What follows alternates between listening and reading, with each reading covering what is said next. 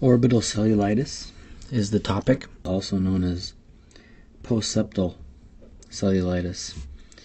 And um, what does that mean, postseptal, preseptal, or postseptal? So I, I drew a quick diagram here. If this is the eye, this is the septum right here, right there. So postseptum just means everything after that. And preseptum would be anything before that. So let's color Let's use green. Actually, let's use red. Uh, pre-septum would involve anything that's before. So, for example, a um, swollen eyelid would be preseptal. So, if the eyelid was swollen just by itself, that you would characterize that as preseptal. Now, if anything comes after, uh, well, you get the idea. Everything afterwards, that's postseptal. And um, that septum is really the the key here because if it's afterwards, it's very serious, and that's why it's called orbital cellulitis. So, what what is the reason this happens? What is the cause, etiology? Well, for uh, orbital cellulitis, in close proximity uh, to the um, eye are the sinuses. And these sinuses, in particular, one that's called the ethmoid sinus, is um, heavily involved in the etiology of orbital cellulitis. And what happens is basically a pathogen will travel from this ethmoid sinus to the orbital area. And the most common pathogen is strep pneumo, um, Streptococcus pneumoniae.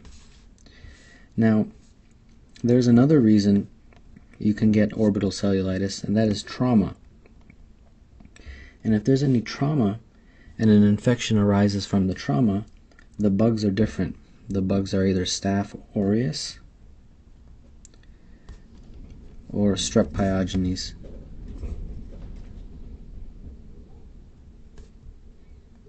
Pyogenes.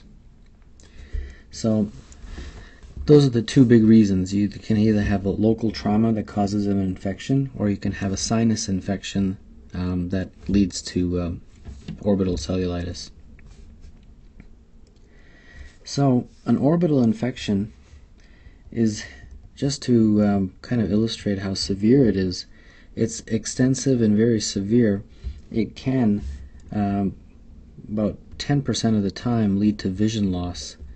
So, if this is uh, the case, um, it's obviously a pretty dramatic uh, consequence of orbital cellulitis. So, what are some of the signs and symptoms? Well, a lot of this you can probably deduce there's going to be redness of the eyelid, uh, but there's going to be a lot, lots of other severe. Uh, the surrounding tissues will also be swollen and red. And in in addition, you're going to have uh, decreased ocular motility, so the eye move eye movements will be compromised. So as you can see, as you go down this list, things get more and more severe. Another thing that you'll have is eye pain, uh, pain with eye movements. Anytime you have a clinical vignette that talks about pain with eye movements, that's pretty severe. And you can also have something called proptosis, which also is known as exophthalmos, which basically means that the eye can protrude outward. And yet another thing that's also very severe is fever. If you have some patient uh, on a licensing exam that has pain with eye movements and fever, that's pretty severe and make, should make you think of orbital cellulitis. So how do you diagnose it? Well, most of the time it's just a clinical evaluation by looking at the eye and talking to the patient in terms of symptoms, but on licensing exams they do definitely mention doing a CT or MRI. And that is because of the uh, extensive involvement uh, that can occur uh, with this type of an infection. Treatment. Well, remember, if you remember back just a couple minutes ago, I talked about um, some of the causes. If the patient has um, orbital cellulitis because of a sinus infection, then the treatment is a little different than if there was a local trauma. So, if this was the case, you treat the patient with um, antibiotics that also cover meningitis because you are afraid that it might spread to that. So most commonly cefotaxime. And these these antibiotics are given IV. You can't treat it with oral antibiotics. It's too severe. So very serious. If the uh, orbital cellulitis was acquired because of trauma, then the uh, antibiotic choices are a little different. They include vancomycin. Um, most commonly, they include vancomycin um, in um, clinical vignettes, also given IV, of course. So, let's take a look at some vignettes and see what this looks like.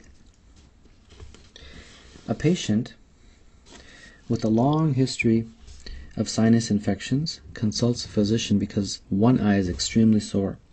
Physical exam demonstrates erythema and edema of the eyelids and conjunctiva. The eyeball is protruding and the patient is unable to move his eye in some directions. Additionally, the patient is running a high fever. Which of the following is most likely? Well, the key things in this the eyeball is protruding, so that's the proptosis unable to move his eye.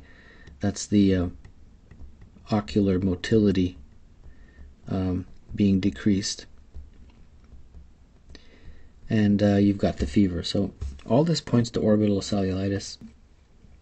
So just in case you're wondering why the other answer, answer choices, because sometimes the other answer choices look very similar, bacterial conjunctivitis will not produce proptosis. This one, blepharitis, is basically uh, inflammation of the lid, the eyelid, and uh, you would not get these other types of symptoms. Dacryocystitis is the inflammation of the tear duct, and a hordeolum is basically involves the eyelash follicle. So none of these would present with such severe uh, physical exam findings. And lastly, big long one. A nine year old girl is brought to the clinic because she has felt sick and has been unable to go to school for past two days. She has headache, congestion, rhinorrhea, and double vision. Past medical history is remarkable for recurrent otitis media. Um, she lives at home with her mother uh, and grandmother, who are both cigarette smokers. Temperature is 101, pulse is 120. Uh, physical exam shows tympanic membranes with evidence of previous surgery, but otherwise normal. Erythematous oropharynx with exudation, slight exophthalmos of the left eye. On the left, the ocular exam also demonstrates periorbital edema, injection of the conjunctiva, and trace restriction of extraocular movements and an afferent pupillary defect. The right eye is normal. The rest of her physical exam is unremarkable. At this time, the most correct statement about the condition is Alright, well, let's go through this. Um, a CT of the head is not really appropriate uh, for orbital cellulitis. You have to do a CT of the orbits. So that's a little bit of a trick there. Gentamicin eye drops.